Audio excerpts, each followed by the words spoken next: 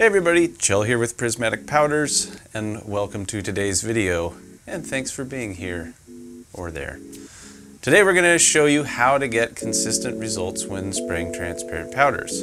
Now there are no hard and fast rules for this, but we'll show you what works for us, and then provide you some insights that will hopefully help you.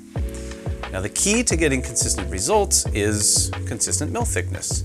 And obviously that's a simple statement, but that doesn't mean that the practice is completely easy. So we're gonna dig a little bit deeper. But first, click those like and subscribe buttons. We appreciate your support on our channel. Now the starting point for any powder is the tech data sheet. Along with a ton of other helpful information, the tech data sheet informs you what the target mil thickness is going to be for each powder, and that's going to guide you towards getting the correct results. Now the reality of spraying transparent powders is you really need to be on point when it comes to managing your mil thickness.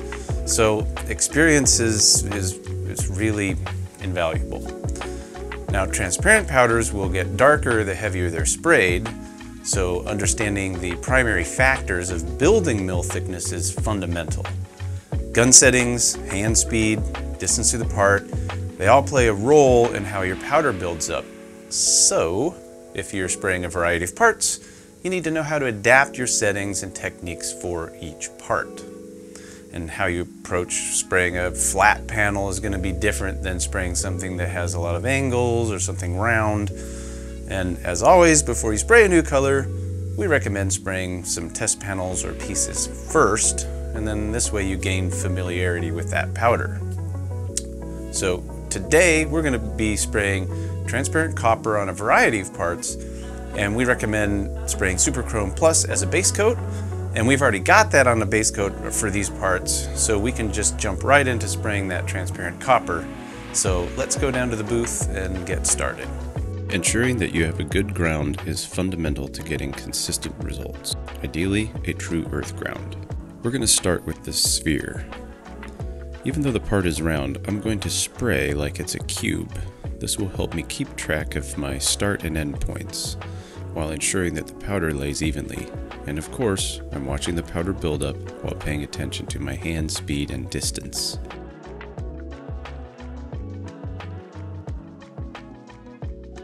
Let's move on to the spring. The spring has some challenges that the other parts don't because there are some tight spots. So I'm actually going to start on these spots. I'll also be pulsing the trigger to help coax the powder in. If I'm not careful in my approach, this will result in me spending more time feathering the powder in and thus a dark spot on the spring. Since powder has a tendency to wrap, I'm going to shoot through the bottom and the top to get coverage on the inside, and then I'll finish up on the outside. And just like the sphere, I'm going to spray this like it has four sides. The goal here is to get a bit of powder on the hard to reach areas, and then I will finish up on the outside, and the powder should wrap.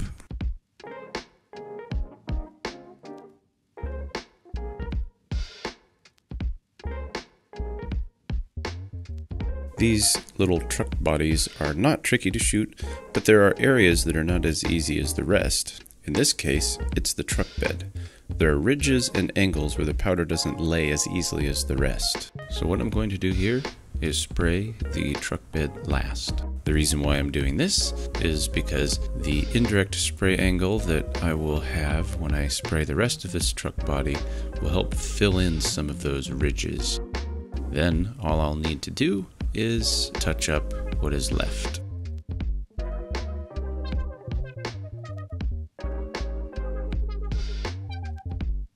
And now we're going to put our parts in the oven and we'll check them over to see if we have even tones.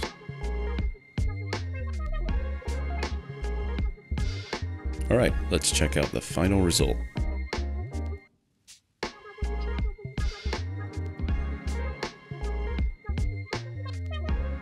Okay, that's it for today's video.